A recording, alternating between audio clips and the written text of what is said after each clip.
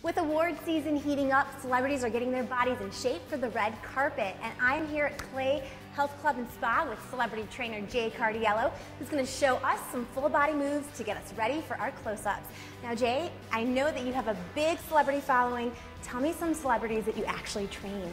Some of the celebrities I've been fortunate to train are Sofia Vergara, Jennifer Lopez, 50 Cent, and Minka Kelly. Show me what you got. Sure, one of my favorite, actually dubbed after my client, Minka Kelly. Love so this is the Charlie's Angels from Bahar. Let's get, let's get our guns ready to go. Put the arms out parallel to the ground, chin tall, and let's ascend our hips down while simultaneously rotating to the right, and now we'll reverse direction.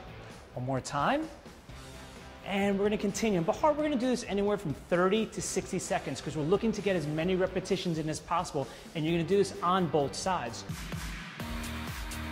So, Jay, obviously working out is one part of the equation, but how important is diet and nutrition? I always tell people diet is 80% of fitness success. A smoothie is a great thing, especially anywhere from 80 to 120 calories. So we're not getting to have a full belly where they feel a little off balance, but something that's quick, fast digesting, and gets them on the go.